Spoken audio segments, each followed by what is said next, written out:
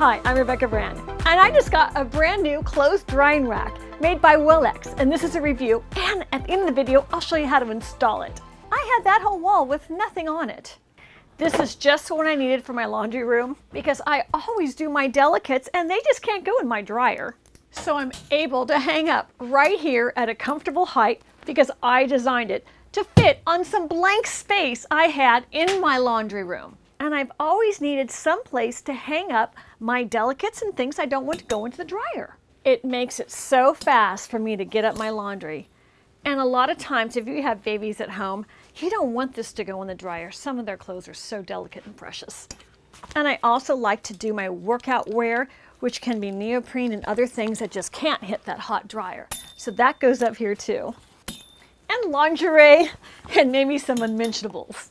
The rack is really strong. It'll hold up to 60 pounds.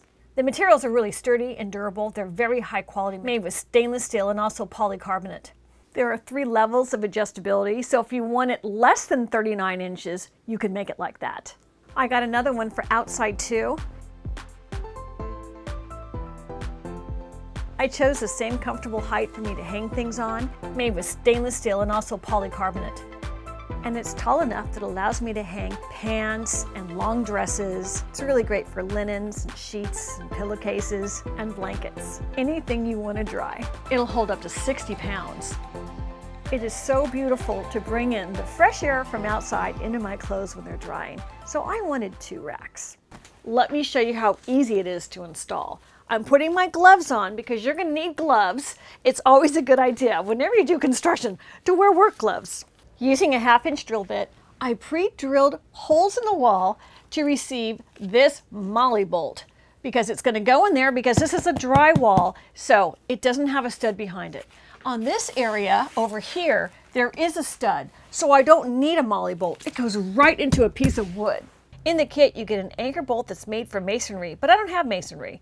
I have drywall, so I had to get a molly bolt. For my stud, I can use what comes in the kit, and this is a screw to go into the wood with a washer. That's going to be great for the stud in my wall. I had chose a height that would be comfortable for me to hang the hangers on, and this is it. I'd also used a level because I wanted it to be level after it's hung. This is the bracket that comes in the kit. It's already pre-assembled like this. You need to put your molly bolt in, so I've already threaded it through. So I'm squeezing it together and I'm pushing it through the hole. And I put my finger in the top of the screw head and I push it in. Just like that.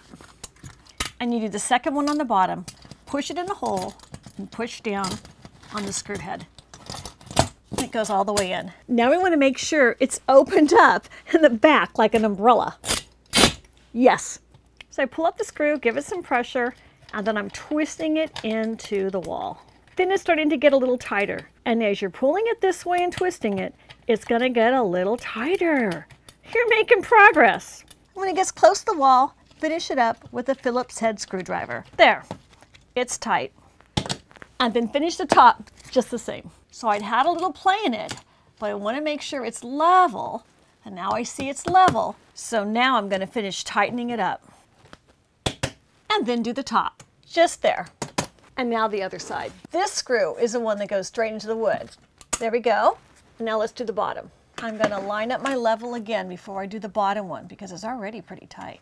So now at the level, let's see where it's going to be. There. And then using your Phillips head screwdriver, it goes right into the wall. That was easy. Now time for the rack. So pull it out. You're going to get eight rods that look like this and you put them together and you twist once it's inside. And there you have it. There's one rod. So we're putting one end cap on one side and press it down so it looks like that. So now's the fun part. You're gonna put the rod in and thread it through. Whee! and on this side, it's gonna go in and I'm gonna put the other end cap on it. Dun And we got three more to do with three more end caps. These have them on, so they're gonna go in from this side to the other side. Well, here's the first one. End cap. I love it when it's so fun to put things together. I used to like Tinker Toys when I was a kid. And here's the second one. All the way through to the other side. And end cap time. and time for the fourth rod. Put through and thread it through the other side. End cap time! And the end caps are so simple. Just goes in like that. Because the end caps will keep it if it's got some play from coming out of the sockets. And once you like your happy spot, take a Phillips head because now you're going to tighten this right here so they don't have any play in them. And it's great because it'll collapse like that. So you can push it in if you're not using it. But personally, I like it out because I like to store things on top of it in my laundry room. I can never have enough storage.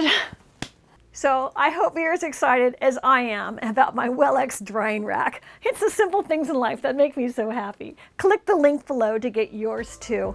And let's talk. Let's talk household things here.